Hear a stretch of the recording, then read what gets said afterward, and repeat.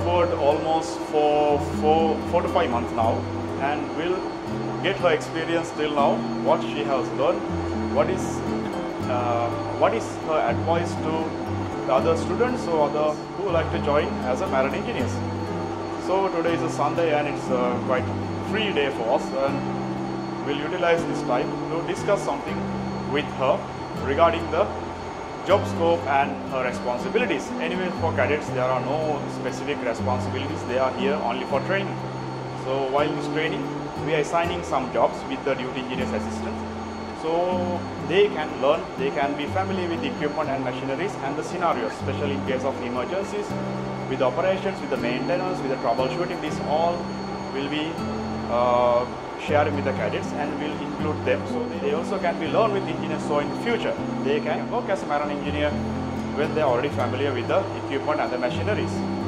So today here, engine cadet Jaishini is with me and will ask her how is her life and why she want to become marine engineer. Jaishini, Yes, again. how are you? I'm good. How is life? Onboard life is very good. So just tell me about yourself to our viewers. Yes, I'm Jeshni, engine cadet. I completed my bachelor degree in marine engineering. I'm coming from Tamil Nadu. I choose merchant navy because I wanted to make a strong and independent life life for myself. Financial stability is very important to me, and this career offers opportunity earned very well as a very young age. As a woman, I want to break stereotypes and prove that we are equally capable in this male dominated field. So beginning of the video, I want to tell something. This video is not sponsored from any of the maritime college or the companies. Uh, we are doing this documentary just to share the Jaishi's experience with uh, other girls and other cadets who want to become marine engineers or who is interested in this field.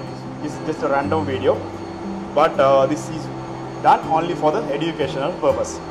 So Jaishin, what motivates you to come on board? From childhood, I have been fascinated with the sea because my father is a fisherman. That's the main thing I fascinated about this field, and I wanted to make my career strong and build an independent life more life for myself. And I wanted to make my family financially very stable. And this career offers uh, the opportunity earn very well as at a young age. Yeah, that's I agree with her. Normally, people who comes to sea just to earn money, nothing else. So because you are staying away from the family or friends for a long time, and uh, let's say your young age, you have sacrificed for some time Yes. just to earn money, nothing else. So, uh, so that that's the inspiration. That's how she got inspired and her motivation. So she want to be financially stable Yes. in near future. Yeah. Yes.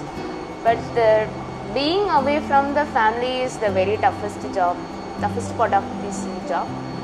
But I want to make my family very financially stable. That's Yeah, I understood. So, so she got some responsibilities. So Yes. she is facing that, and till now she is doing good. So with uh, our experience from our side.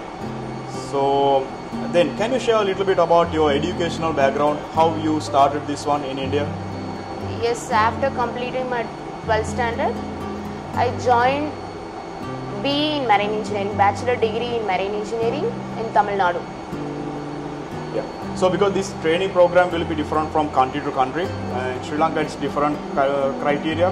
In India it's different criteria. Normally they do their bachelors, then they are joining ships. But in Sri Lanka it's completely different. As we know, we have to do our A levels, then we have to do the uh, maritime training. Then you can join as a cadets on board to complete your cadet training.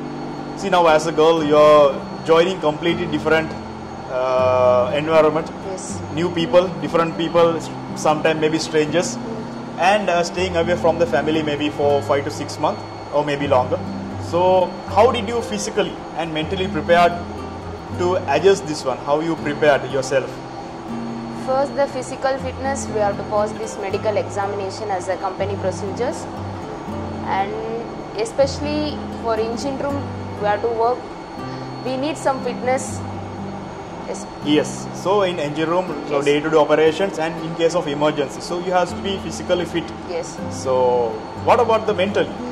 How did you prepare mentally, I prepared by learning and talking to experienced seafarers.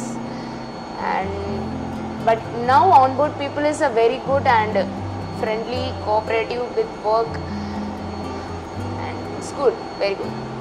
yeah, because of this uh, equality thing, now we treat everyone same and this gender equality and all. So and the har- harassment procedures are now really good. So if they if they feel something is not right, if they feel not comfortable, they have right to complain. Yes. And they have this yes, they- Harassment and bullying. bullying is there so this there are strict procedures for this so even for young girl like her so there it's quite safe right correct or wrong Yes. so the environment is safer not Out like of earlier 21, 22 crew members, only two, one to two girls are on board. yeah So especially it's very hard to overcome this. But it, I know it would not be easy. But I, I also worked on building discipline and positive mindset. yeah that's all about the their morale as well Yes. and uh, how you know you're staying away from the family for quite long time how was it in the beginning Yes. First, first initially one month uh, being away from the family is the very toughest part. But I try to stay connect with some video calls and messages. It's very yeah because this internet is Yes. really good now for the But seafarers so now onboard is internet is internet is very good. Yeah, I mean, we are not happy with the speed and the Yes. amount and all, but still something is better than nothing. So we have some amount of internet for daily usage. That is, uh, That is enough for would us. say enough for us for managing Yes. this uh, emotional and the contacts with the home. So then we'll just come to your daily routines and all. How is your typical day in the engine room?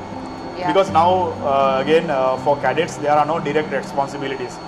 Normally, anytime if she's going for any job or any maintenance, any routines and the stuff, she'll be going with the duty engineer or the senior engineer. Yes. Uh, it can be junior engineer, can be uh, senior engineer. So then, while we are doing the job, uh, we'll be training her. We'll be training the cadets as well. Like first uh, two weeks and maybe first month will be mostly training only. Then once they are familiar, once we are happy with their safety culture and the working abilities, then slowly we'll be assigning small jobs, not not the full responsibility, but with assisting with the engineer. Accordingly, there are some small responsibilities Yes. are given to her. What are those? How is it? Your day is going in the engine room? Normally, my day starts with the toolbox meeting. After that, I go to take my rounds full of engine rooms around one to two hours. Let me let me disturb. Now, people are not from this field will think what is toolbox meeting? Why are going to do use tools for the meeting? Yes. So it is just a name. It is a safety briefing every day morning when we come. Normally we comes at eight o'clock in the morning. Once everyone here, normally Second uh, engineer. second engineer will be myself will be conducting a small briefing. What is our daily plan? What are the jobs carried out to? Yes, so that way everybody knows what everyone is doing on the in the engine room. So that way that way our safety uh, will be enhanced. Yes. Correct. Thi- That is called toolbox meeting. This thing is discussed for short time, not for long time. We'll be describing the jobs. Then we discuss about the permits. What are the permits to be made? How to sign. Once this all done, then only we go for the job. So that is called safety meeting, toolbox meeting, Yes. safety briefing. This all using for same name. Then after toolbox then meeting, after you will. toolbox meeting, I go to take my engine room normal routines. Normally, I taking engine rooms with the normal routines with checking parameters, temperatures, what are the pump pressures, if any leaks are there, any visually abnormal emissions, any abnormal noise, any abnormal temperature. I have to inform this watch keeping engineers, assist with watch keeping engineers to carry out my duty. Yes, so that's the daily routines. Normally, when we take rounds, daily we once we come to the engine room, we call it we are manning the engine room. Once engine room is manned, we have to take proper rounds up from top to bottom. We call it funnel to tunnel. When we take in these rounds, we have to check so many parameters, any abnormalities, any abnormal noise, any abnormal uh, odors, any smells. So these things we have to check audibly, visually. This all we have to check thoroughly. So normal, normally, this about these rounds we are taking three times per day: in the morning, when evening, and late nights. For late nights, normally we cannot uh, keep engine, cadets for the engine room. So normally duty engineer comes with the oil or something like that. So now we are already on board six months, Yes. correct? Five to six months. So what are the challenges you face so far or any unexpected situations, emergencies? If you want to share anything? Yes, the biggest challenge is adapting to this shipboard environment is the very tough and long hours. Being alert and focused when even tired requires the mental strength.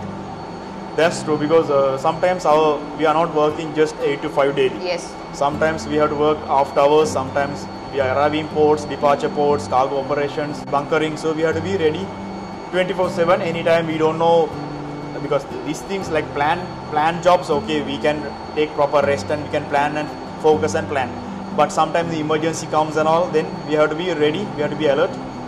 So we have to be mentally prepared 24/7. Correct. So how is uh, entertainment wise uh, while sailing no other than to the job Yes. scope how you enjoying life yes. if you are enjoying it Normally, onboard parties may be conducted in Nui every month. Whenever we get time freely, maybe once a month Yes. we'll have a one gathering here Just And here. I have been to shore leave in some countries, Philippines, Australia. In my six, in six months of training, I went to three countries: Philippines, Australia, and China. Also, it's very good. It's very. It was a very good experience. I explored many things in many countries. It was a very even the experience. time was short now we, we are getting shore leave since it's been a chemical and oil tanker we have limited time for to go and explore things but still you're getting this opportunity for free you can travel the world you can get this different Yes. you can enter to different countries with the help of our profession so you can visit for short time get some different you can have some different food different you can see some different cultures yes. so that is one the advantage of the job advantage of yeah so Jaishini what is what is your future ambition or your ultimate goal I want to become a chief engineer. Hands on technical knowledge, situational awareness, and communications are the most valuable in this field. I have learned by staying focus by focus on my staying goal. yeah so from Traveling Mariner i'll be wishing her all the very best Yes. to your future and yeah, hope to see you soon as a duty engineer Yes. watchkeeping engineer then yes, Yes, I have learned theory. It helps well, but the practical understanding what keep things is running smoothly on board. That is the main yes thing. that's true that's true so we need to have theoretical knowledge for sure Yes. we need to have certificates then only we are eligible to come on board But additionally you need to have that uh, situational awareness Yes. that is very important then the practically how you're going to use your knowledge that is important so that's what we are doing with the trainings and all that's what uh, when we're doing job she'll be there mostly she'll be handling tools so then your hands get used to it Yes. so finally, what advice will you give for the young people? Can be boys, girls. Advice if they are willing to come on board, if they are searching and if they are interested in this marine marine engineering field. What will be your advice for them? Yeah, for in this field, this career offers a opportunity to earn very well as a young age. If you want to build a career financially stable, it's a very short time. You choose this field is the very good. Yeah, I can add something like at the younger age, if you want to become success, if you want to earn some money, if you already have some responsibilities, then this is one of the good job opportunity. You can do your studies, you can join as a cadet, then you can do your trainings, then once you go and do your exams, once you get the your certificate, COCs from your administration. Then you can join as a watchkeeping engineer. So another advantage is you can travel the world and for free because you know you will not like some countries like we went to Peru, Chile. You may not buy tickets and go to visit those countries, Yes. but we were lucky. We went to South America. We went to these countries. We saw how that countries. So getting visas, then no need to buy tickets. These all were advantages. So that can be the one of the best advantage what I, I would say. But uh, it's depend on your ship and the trading areas and the people on board. Yes. some people may not allow you to go shore leave some people may or maybe some may have the country uh, restrictions. So that's depend on your luck as well. But there are advantages there are disadvantages. So it's depend how you choose it. Yes. if anyone wants to become uh, marine engineer, so we are wishing them also all the very best and do the research, check the good companies, check what are the best colleges. So because some colleges they are providing you the training ship and all, some may not. Yes. So do this research, do your studies well. If you are doing your studies, your theories well, then you can survive in this field no matter what. Thank you everyone. Thank you. Yeah, thank you Jaishini also. So thank you everyone to watching this video. This is the Traveling Mariner signing out from here. If you like this video, you can press the thumbs up, share the video with your friends and hope to see you soon with a new one. See you guys. Have a nice day.